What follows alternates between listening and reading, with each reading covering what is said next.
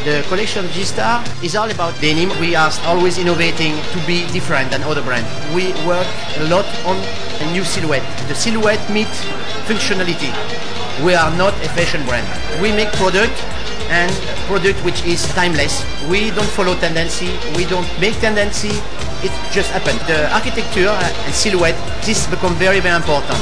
We work a lot on what will be the, the silhouette of tomorrow without to be fashion and ridiculous.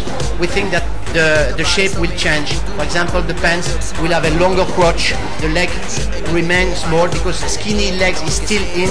We want to be a company that can grow for 100 years.